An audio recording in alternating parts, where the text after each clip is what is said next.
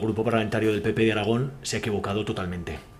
en no venir a una reunión que es un ejemplo de, de transparencia y de diálogo constante entre todos los grupos parlamentarios, no solamente del gobierno, sino también de la oposición,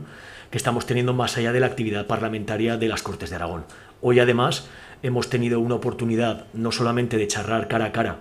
con las principales consejerías y responsabilidades políticas, sino también algo que no tenemos tanta ocasión de, de, compartir como es con los técnicos, con las personas técnicas que en el día a día están haciendo un esfuerzo ingente para que haya claridad y transparencia en los datos del seguimiento de la pandemia en Aragón. Y esto es fundamental para conocer qué es lo que se está haciendo, para tener información de primera mano que como representantes públicos tenemos la obligación de trasladar para intentar ser parapeto de bulos o de informaciones falsas que para nada benefician a la salud colectiva y también, como no, para trasladar nuestras reivindicaciones y nuestras propuestas. Eso es exactamente lo que hemos hecho hoy aquí en la sede de la Consejería de Sanidad